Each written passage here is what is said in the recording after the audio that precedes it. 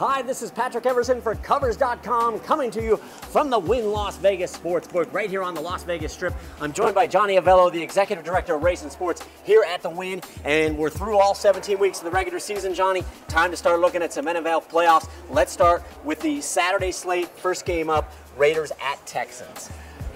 I was torn between three Texans and three and a half. I opened up three minus 20, which is right in the middle. So it's three with a little bit of juice. This is a game about which quarterbacks will play. Right. Will it be McGloin? Will it be the rookie Cook? On the other side, will it be Savage? Will it be Osweiler? Right. Now it doesn't look like a lot of offense to me, and the total's awful low. So three minus 20, and I'll let the players move me where they want to go. Okay, moving along. Let's go to Lions and Seahawks Saturday night in Seattle. Uh, open this game eight. Seahawks awful tough at home. We know that. Only Yes, one sir. loss during the regular season. Only a handful of losses over the last three or four years. Right. They, they don't have that mojo that Mhm. I see. But the problem is that the Lions haven't won a playoff game in quite a few years. Right. And to, that's a hostile place to go, especially after losing the the uh, the division playoff game yesterday. Right, with a chance to get at least one home game during the playoffs. And you're right, it's a terribly tough place to go and win a game, particularly in the postseason. All right, let's move along to the Sunday sled Miami at Pittsburgh. Uh, I opened up Pittsburgh nine and a half.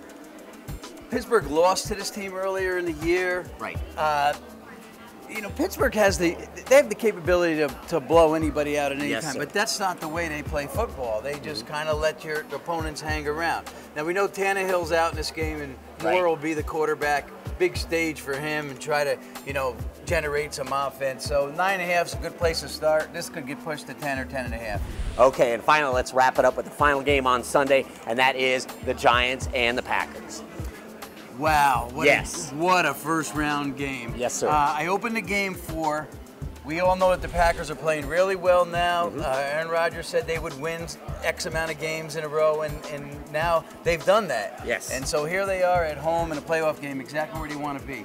The problem I see from a handicapping standpoint here is Odell Beckham. Mm-hmm. I don't know if the Packers can hold Odell Beckham. I don't know if anybody can. Right, But I'm sure right. the Packers can't, and I think the Giants will be able to throw the football. I think this game is won by who has the ball last. It very well could be, and it's certainly a good way to cap off the wild card weekend. New York Giants at at uh, Green Bay Packers. All right, well, thanks again to Johnny Avello for his insights as always. For Covers.com from the Wynn Las Vegas Sportsbook here on the Strip. I'm Patrick Everson. Be sure to subscribe to our YouTube channel and give us a follow on Twitter at Covers.